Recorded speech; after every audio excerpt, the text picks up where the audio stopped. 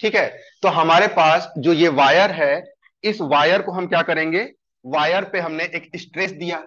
अब मुद्दा है कि जब इस वायर पे आप कोई स्ट्रेस दोगे, आप चाहते हो कि आपका फाइनल डेस्टिनेशन है कि आपको इसको L plus delta L plus small L length से कर देना है। इसका मतलब कि सबसे पहले इलांगेशन ज़ीरो था, है ना? आपने कोई स्ट्रेस नहीं दिया था उसको। लेकिन आपने कोई फोर्स नहीं लगाया था। लेकिन जब हल्का सा फोर्स लगाओगे तो करस्पॉन्डिंग स्ट्रेन प्रोड्यूस होगा करस्पॉन्डिंग इलांगेशन प्रोड्यूस होगा, है ना? लेकिन आप थोड़ा सा और फोर्स लगाओगे तो अगर मान लीजिए, यहाँ पे थोड़ा सा आपने स्ट्रेच किया है, अगर, अब आगे इतना ही किसी को स्ट्रेच करना है क्या उतना ही फोर्स लगाना पड़ेगा? इसका मतलब कि सेम इलांगेशन के लिए नेक्स्ट इलांगेशन के लिए, आपको फोर्स का अमाउंट बढ़ाना पड़ेगा। जैसे स्प्रिंग ले लीजिए स्प्रिंग में जब आप मान लीजिए किसी को शुरू में दे दिए कि चलो एक सेंटीमीटर खींचो हमने एक सेंटीमीटर उसको खींच दिया। अब अगला टास्क किसी बी पर्सन को दे दिया गया चलो अगला एक सेंटीमीटर तुम खींचो। वो कहेगा अल्लाह अब तो हमें फोर्स क्या करना पड़ेगा? ज़्यादा। लगाना पड़ेगा। इसका मतलब ये है कि फोर्स कांस्टेंट नहीं है। फोर्स क्या कर रहा है? वेरी कर रहा है। विथ इलांगेशन जितना ज़्यादा इलांगेट होती चली जाएगी उसे स्ट्रेच करना क्या होता चला जाएगा? डिफ़िकल्ट होता चला जाएगा। मैथमेटिकल एक्सप्रेशन देखते हैं हम लोग कि ये कैसे मैथमेटिक्स इसको सपोर्ट कर रही है। तो हम लोग जानते हैं कि जो ये मटेरियल है, इस मटेरियल का यंग मॉडुलस या मॉडुलस ऑफ़ इलास्टिसिटी वाई है हमने मान लिया। तो हम कहेंगे कि जो यंग मॉडुलस है वाई ठीक है? जो वाई यंग मॉडुलस है, ये हम क्या कहेंगे? टेंसाइल मतलब स्ट्रेस या टेंसाइल स्ट्रेस दे रहे हैं, है ना? Tensile stress upon tensile strain sigma से दिखाते हैं। ये बात समझ में आ गया? इसका मतलब ये हुआ कि ये हो गया force upon area, F upon A. और टेंसाइल स्ट्रेन कितना हो गया? हम किसी एक्स की बात कर रहे हैं कि किसी इंटरमीडिएट स्टेप में चले गए कि एक्स लेंथ हमने स्ट्रेच किया है अभी।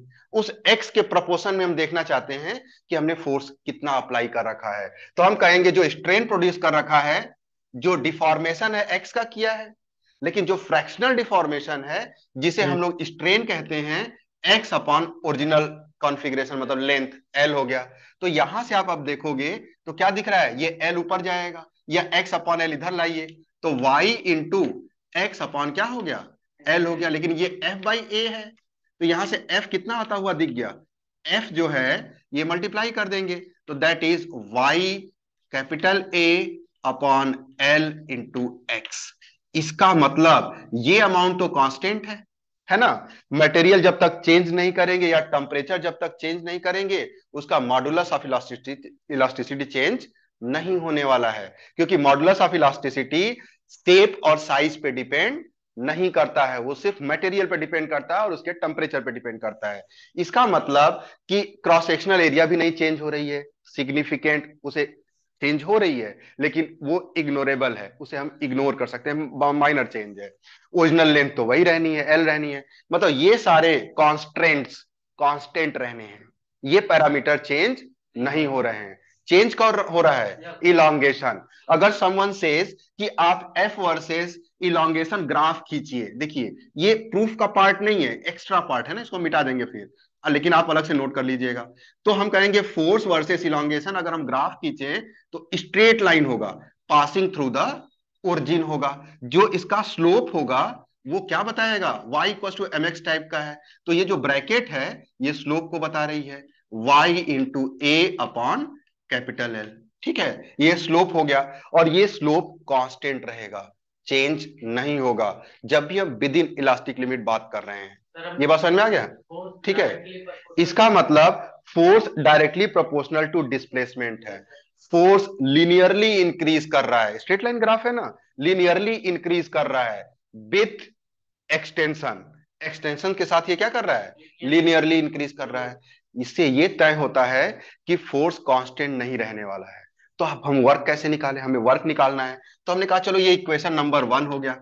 वर्क निकालते हैं। तो हम लोग जानते हैं जब भी वर्क निकालते हैं और वेरिएबल फोर्स को हमें डील करना होता है उस समय हमें इंटीग्रेशन की इंटीग्रेशन का सहारा लेना होता है। क्या लेंगे? इंटीग्रेशन का सहारा लेंगे। इसका मतलब कि हम कहेंगे स्टोर्ड एनर्जी जो होगी जो हम वर्क करेंगे है ना? किस फोर्स के अगेंस्ट वर्क कर रहे हैं हम लोग? हम लोग वर्क कर रहे हैं इलास्टिक फोर्स के अगेंस्ट। इलास्टिक फोर्स के अगेंस्ट वर्क कर रहे हैं और इलास्टिक फोर्स हमारे एनर्जी का केयर करता है। वो नॉन मैकेनिकल एनर्जी में कन्वर्ट नहीं करता है। इसका मतलब वो वायर के अंदर एनर्जी जो हमने उसको दी है, वो स्टोर हो जाएगी। है ना? इसका मतलब जितना हम वर्क करेंगे, वो as a work, as a energy store हो जाएगा स्ट्रेच्ड वायर में। इसका मतलब कि अगर हम पोटेंशियल एनर्जी की बात करें यू की बात करें तो दैट इज़ वर्क डन ठीक है? Work done against the against the elastic force क्या हो जाएगा? इलास्टिक फोर्स इलास्टिक फोर्स जो ऊपर इक्वेशन नंबर वन में दिख रहा है है ना? Within the elastic limit अब हम लोग जानते हैं लेकिन ये वर्क फोर्स इंटू डिस्प्लेसमेंट नहीं लगा सकते हैं। क्यों?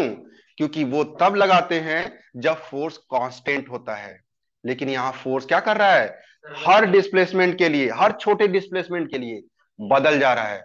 रिक्वायरमेंट ज़्यादा हो जा रही है। तो यहाँ इंटीग्रेशन का सहारा लेते हैं। ठीक है? तो हम कहेंगे कि चलो पहले छोटा सा वर्क देखेंगे।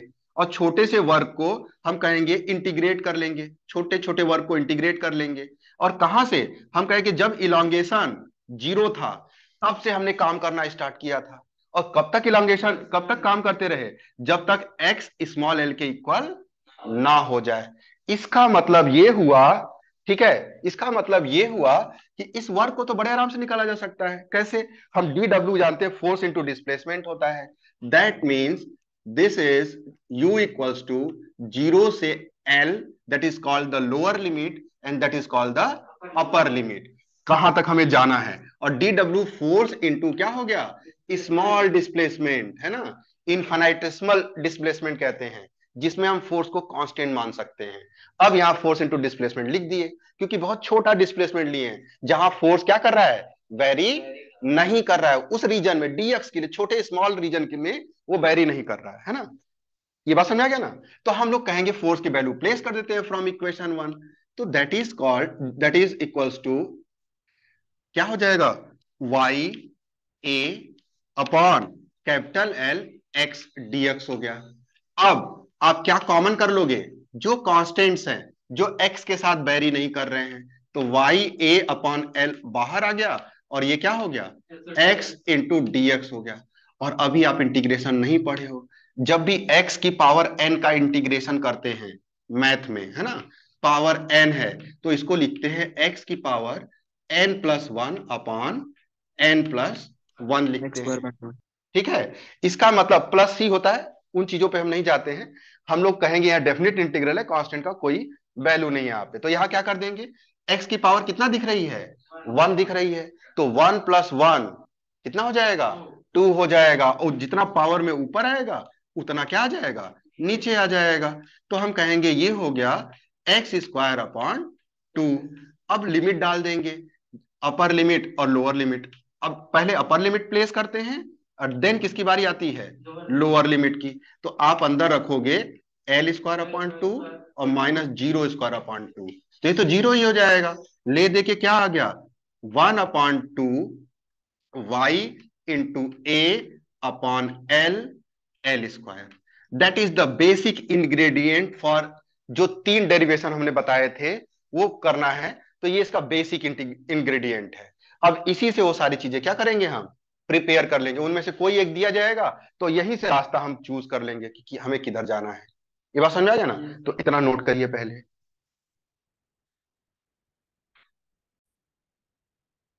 तो देखिए, अब इस फॉर्मूले से ये इनर्जी क्या है? Energy stored in stretched wire हो गया। नाउ अब इसको हम लोग अगर देखें तो हमारे देखने का नज़रिया बदल जाएगा। तो हम कहेंगे u इक्वल्स टू इसको सही से लिख ले हाफ़ ठीक है? और क्या हो जाएगा आपका? यंग मॉडुलस y इंटू हम स्ट्रेन का स्क्वायर लिखना चाहते हैं। लेकिन एल स्क्वायर तो है है ना? एल स्क्वायर है लेकिन कैपिटल एल नहीं है। तो कैपिटल एल क्या कर लिए हम? मल्टीप्लाई कर लिए और है ना और डिवाइड कर दिए। तो एक एल पहले से था? ये बात समझ में नहीं आई? इसका मतलब ये एल स्क्वायर तो पहले से था नीचे एक एल एम मैनेज हो गया। तो ये हो गया स्ट्रेन का स्क्वायर है ना? और एक क्रॉस सेक्शनल एरिया है। तो अब ये बताइए कि कोई भी अगर वायर है और उसकी क्रॉस सेक्शनल एरिया दी गई है है ना? और इनटू लेंथ कर दिया तो ये इसका वॉल्यूम कहा जाता है। क्या कहा जाता है? वॉल्यूम इसका मतलब this formula is manage as a half into Young modulus Young's modulus ठीक है, यही लिख दे रहे मॉडुलस इंटू स्ट्रेन का स्क्वायर स्ट्रेन का क्या है? स्क्वायर और इंटू क्या है? वॉल्यूम है। That is the total energy stored हो गई है। That is total energy stored in given volume ये वॉल्यूम हो गया। ठीक है? तो एक डेरिवेशन ये प्रूफ करने के लिए आता है।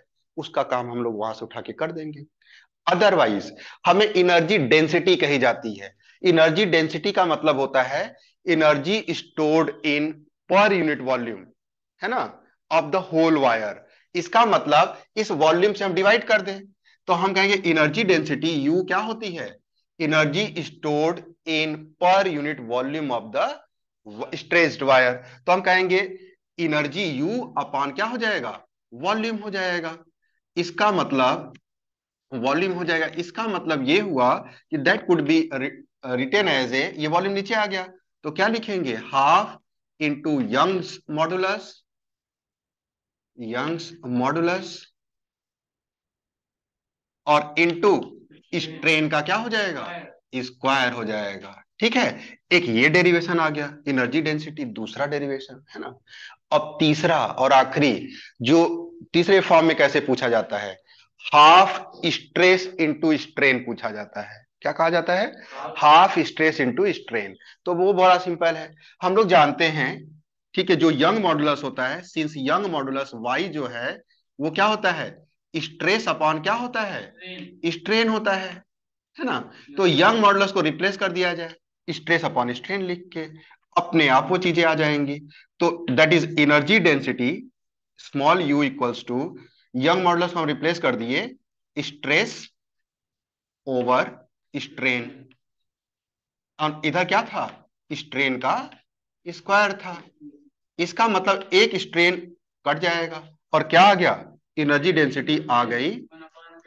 हाँ हाफ़ स्ट्रेस इंटू स्ट्रेन आ गया है ना? तो इन तीनों में कुछ भी पूछा जाए हम लोग स्टार्ट जैसे किए वैसे ही करेंगे लेकिन यहाँ के बाद कैसे करना है वो मैनेज कर लेंगे हम लोग ठीक है? नोट कर लीजिए। अगर सीजीएस यूनिट की बात करें तो सीजीएस न्यूटन के करस्पॉन्डिंग फोर्स को डाइन में मेजर करते हाँ, और मीटर की जगह पे सेंटीमीटर यूज़ करते हैं। तो सेंटीमीटर की पावर माइनस टू हो जाएगा। ये सीजीएस यूनिट हो गई, है ना? मॉडुलस ऑफ़ इलास्टिसिटी का। और ये क्या हो गया? That is S I unit of modulus of elasticity चाहे वो यंग मॉडुलस हो, चाहे वो बल्क मॉडुलस हो, चाहे वो मॉडुलस ऑफ़, ठीक है? रिजिडिटी हो। तीनों मॉडुलस ऑफ़ इलास्टिसिटी के लिए सेम यूनिट और डायमेंशन की बात करें। तो न्यूटन मतलब फोर्स है, जिसका डायमेंशन होता है एम एल टी की पावर माइनस टू। और मीटर की पावर माइनस टू है तो एल की पावर क्या हो गया? Minus two. तो आप बताओ, पूरा अगर लिखें तो एल की पावर तो यहाँ वन है। तो वन और माइनस टू कितना हो जाएगा? माइनस वन हो जाएगा। तो ये लिख देंगे। इसका तो इसे हटा देंगे। तो ये हो गया, क्या मॉडुलस ऑफ़ जो भी इलास्टिसिटी है, उसका डायमेंशन हो गया, जो के हमने माना था ना। डायमेंशन हो गया इसका। ये बात समझ आ गया ना? मॉडुलस ऑफ़ इलास्टिसिटी का डायमेंशन हो। गया तो ये नोट कर लेंगे, ये कभी, कई बार एक मास का आ जाता है, ठीक? अब बात करेंगे, ये तो हो गया बल्क मॉडुलस से रिलेटेड जो बल्क मॉडुलस का रेसिपोकल होता है, उसी को कंप्रेसिबिलिटी कहते हैं। है ना? जो सॉलिड्स होते हैं they are less comparable compressible वो कंप्रेसिबल नहीं होता है। जैसे, लेकिन जो हमारी गैस हैं वो हाईली कंप्रेसिबल होती हैं उन्हें ज़्यादा कंप्रेस कर जैसे बलून में अगर हम लोग एयर फिलअप कर लें तो हम कंप्रेस कर सकते हैं। लिक्विड फिलअप कर लें कंप्रेस करेंगे लेकिन ज़्यादा स्ट्रेस लगाना पड़ेगा। वो उससे ज़्यादा कंप्रेसिबिलिटी चाहिए है ना? और अगर उसमें कोई ईटा पत्थर भर दे तो कर चुके कंप्रेस है ना? इसका मतलब कंप्रेस करेंगे लेकिन हमें ज़्यादा स्ट्रेस लगाना पड़ेगा। इसका क्या मतलब है कि जो कंप्रेसिबिलिटी है सॉलिड्स की सबसे ज़्यादा होती है। और जो गैस की है सबसे कम होती है। और लिक्विड का क्या हो गया? इन बिटवीन हो गया, बीच में हो गया। तो कंप्रेसिबिलिटी कैसे डिफाइन करेंगे? It is defined as a यहाँ पे लिखेंगे it is it is defined defined as reciprocal reciprocal of bulk modulus ये ध्यान रहे। Bulk modulus. ठीक है? दैट मीन्स और it is denoted by and denoted by denoted by kappa कहते हैं ना कप्पा तो cup kappa equals to one upon bulk modulus एक सिंबल है रोमन सिंबल है इंडिया में थोड़ी ना हुआ है कि एबीसीडी बस दिखाई दे। ठीक है? हाँ कप्पा कहते हैं। थोड़ा सा खींच दिया गया है ये वाला। और स्टाइलिस्ट हम लोग ऐसे लिखते भी हैं ना के को भी स्टाइलिश ऐसे ही लिखते हैं। इसीलिए हम लोग अंतर नहीं समझ में आता है। स्टाइल स्टाइल इतने चेंज हो जाते हैं ना। अब अगर रेसिपोकल हो गया तो इसको रेसिपोकेट कर देंगे। तो डेल्टा भी ऊपर जाएगा है ना? तो दैट इज़ माइनस साइन तो रहने रहने वाला है। तो माइनस और अच्छा ये डेल्टा प्रेशर भी डेल्टा पी लिख लेंगे हम लोग, है ना? चेंज इन प्रेशर लिख लेंगे उसको। तो ये हो जाएगा वन पॉन वी और डेल्टा भी ऊपर चला गया, ठीक है? और नीचे हो गया डेल्टा पी। कैलकुलस वाले मैथ में कई बार इस्तेमाल करना पड़ता है, one by V, differential change in volume, differential change in pressure, ठीक है? DV upon D by D P आप प्रेशर के रिस्पेक्ट में डिफ्रेंशिएट करते हैं वॉल्यूम को तो कई बार वो, खैर आपके मैथ के लिए सिर्फ़ इतना यूज़ करना है बायो में इतना यूज़ करना है, ज़्यादा हम लोग उधर नहीं जाएँगे। वो कंपटीशन की तरफ़ अप्रोच करेंगे तो उसकी ज़रूरत पड़ने लगती है फिर।